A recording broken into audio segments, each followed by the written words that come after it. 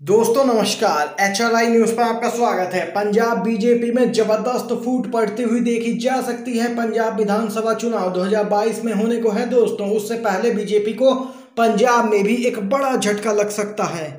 पंजाब विधानसभा चुनाव से पहले बीजेपी में मची भगदड़। पूर्व विधायकों समेत मौजूदा विधायकों ने पार्टी छोड़ने का दिया है अल्टीमेटम। जी हाँ दोस्तों, कहा कि कृषि कानून वापस लो, नहीं तो बीजेपी से हमारा कोई सरोकार नहीं।